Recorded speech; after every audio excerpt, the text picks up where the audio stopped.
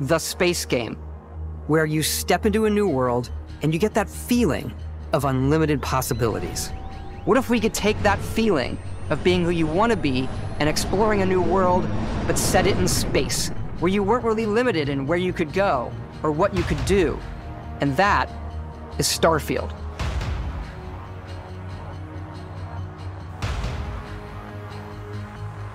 But it's still a Bethesda RPG through and through.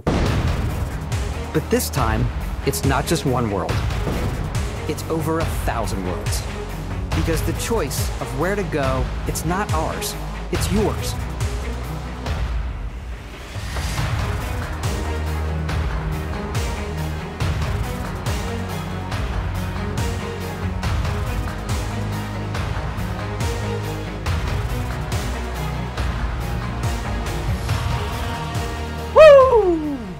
Todd Howard has done it again. I haven't been this hyped for a game since the release of Destiny 2. This game was not anywhere near my radar. I was not paying any attention. I saw the showcase in 2022 and it was a bit lackluster. Combat seemed a little slow. They seemed to be making all of these promises that they couldn't really back up with their footage here.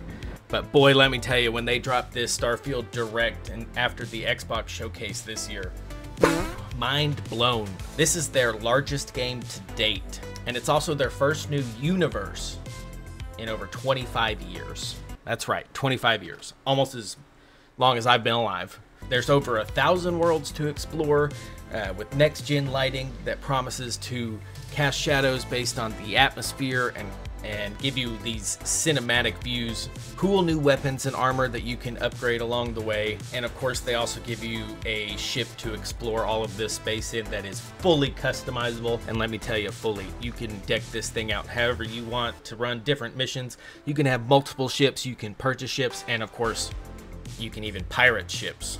Yeah, that's right.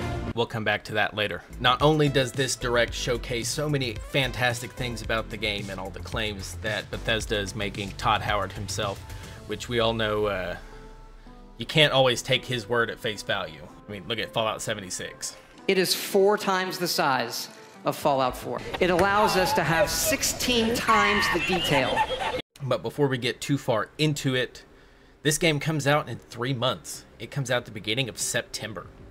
And if you're looking to prepare yourself to play this game when it comes out, why don't you check out Starforge Systems through the link in the description or the QR code on screen. There you will see all of the options that Starforge provides. And if you purchase a system using one of these affiliate links, you will help support the channel, as well as upgrading your PC to take on a whole new galaxy.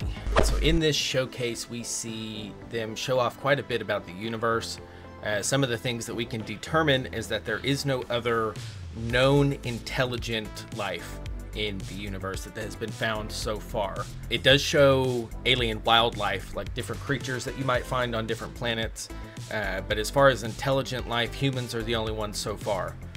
They do intertwine some sort of mystery about these ancient artifacts that seem to imply that there should be other intelligent life out there, but we'll have to play the game in order to figure that one out.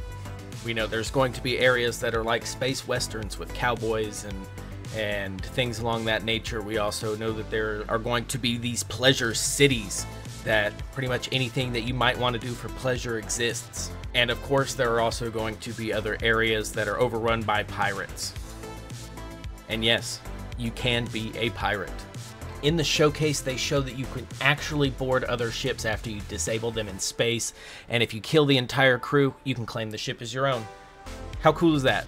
Now, in the direct, they do go over this robust character creation system, and they go on for a big deal about that, but the footage that is shown um, doesn't really show anything too crazy or out there or, or you know or unrealistic. Uh, you can change body type, your walk pattern between uh, two different ones, it looks like, some different face things. Now, they did say that they actually scanned a bunch of people's actual faces and then kind of mix and matched the different pieces in order to create the characters in the game, which is kind of interesting and cool. So, it'll be interesting to see how some of the NPCs look in the game, if we see a bunch of repeats, or if they're able to actually have enough variety amongst them that you don't really see two characters that look too much alike. And then, of course, they even show that during the customer creation section of the thing, you can uh, you can choose traits, and the one that they highlight here, the adoring fan trait, is just an absolute hilarious throwback to the Oblivion days of the adoring fan at the Coliseum. I can't believe I get to stand near you, breathing the same air. I've got to have every molecule.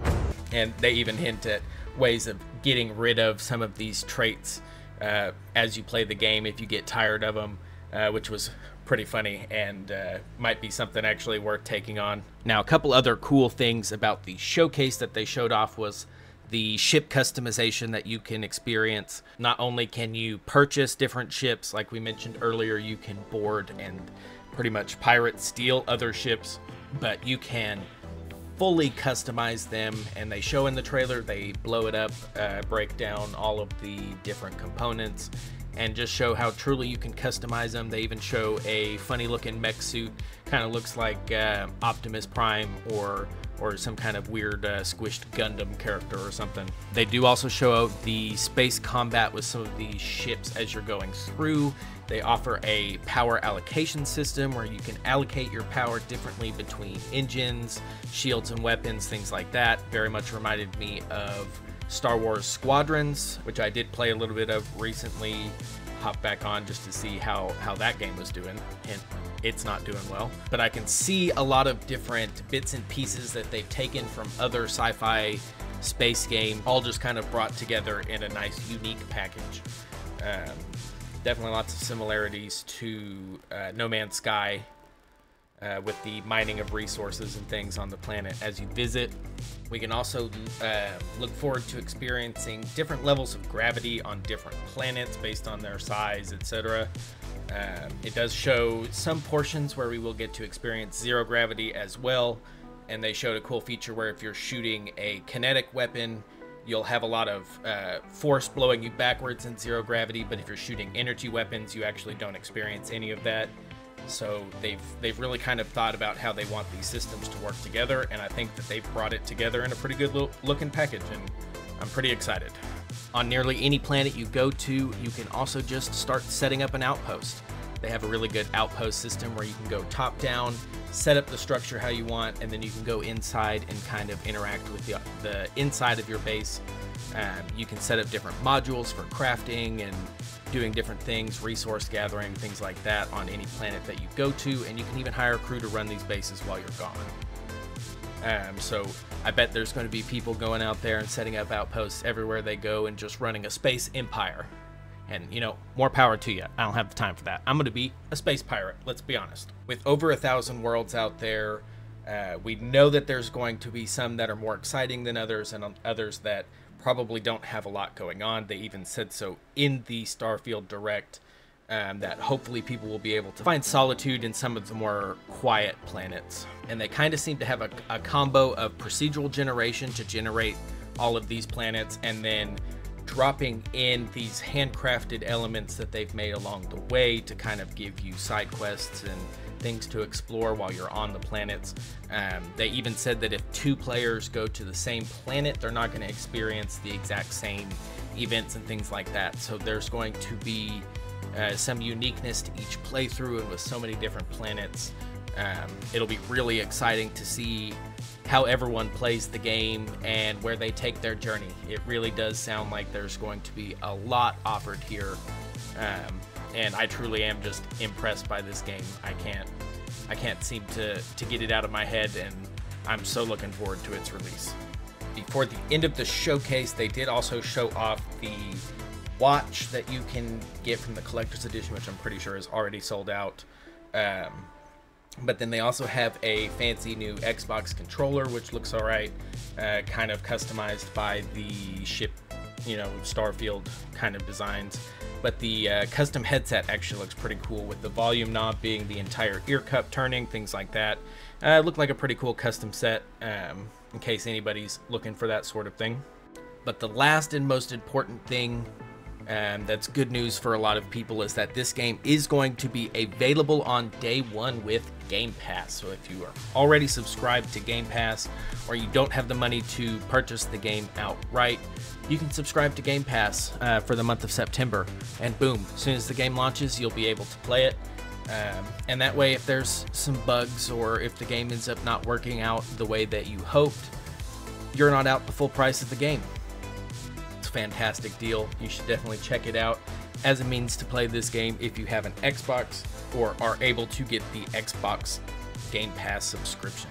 And I hope you enjoyed that video. And if you're looking for some more videos from me, why don't you check out uh, the Redfall video over here and you can see what a bad game release looks like. See you next time.